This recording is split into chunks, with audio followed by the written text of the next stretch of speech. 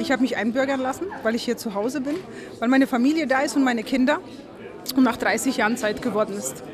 Das war unbeschreiblich, dass der Innenminister mir das persönlich überreicht habe. Das ist nicht jeden Tag, dass es passiert. Und es war schon eine große Ehre.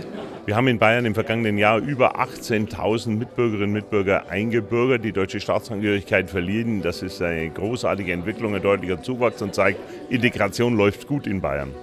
Ich freue mich riesig, dass ich halt ähm, deutscher Staatsbürger geworden bin. Ja genau, und dass ich halt äh, wählen darf auch dass ich äh, reisen darf überall, wo ich möchte. Und mein Mann ist Deutscher, mein Kind ist Deutscher und ich möchte auch genauso zu der Gesellschaft gehören. Ich wünsche all unseren neuen äh, deutschen Staatsbürgern äh, viel Erfolg, weiterhin einen guten beruflichen Weg in unserem Land.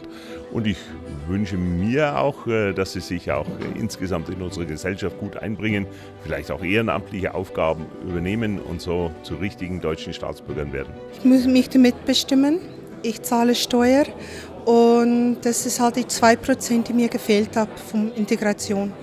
Jetzt bin ich 100% deutsch.